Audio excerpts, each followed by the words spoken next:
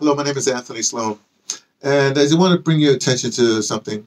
Um, for the last 30 years or so, a group, a small group of uh, media archivists, if you will, media activists and archivists and technicians, uh, we have been documenting um, uh, important political as well as uh, social things, uh, phenomena, events that have been happening in uh, in and around well the states around the world. As a matter of fact, now.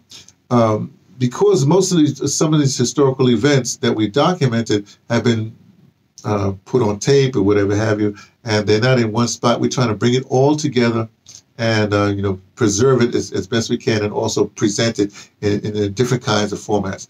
So for to this to, to this end, we started a group, or we so we we trying to fund a group, uh, and the group is called the uh, Ujima Pan African Media Archives, because these are archives. to Ujima Pan African Media Archives. The acronym would to be the UP, UP, uh, UPAMA. That's U P A M A. Okay. So what? So we, what we really need you to do, we're just asking some support.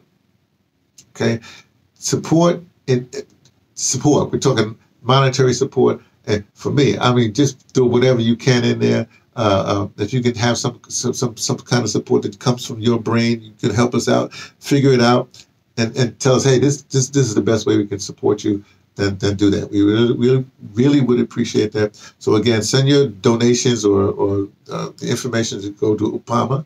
And that's the acronym, and that would be that would be the uh, the uh, Ujima Pan African Media Archives. That's uh, UJAMA. That's Ujima Pan African Media Archives.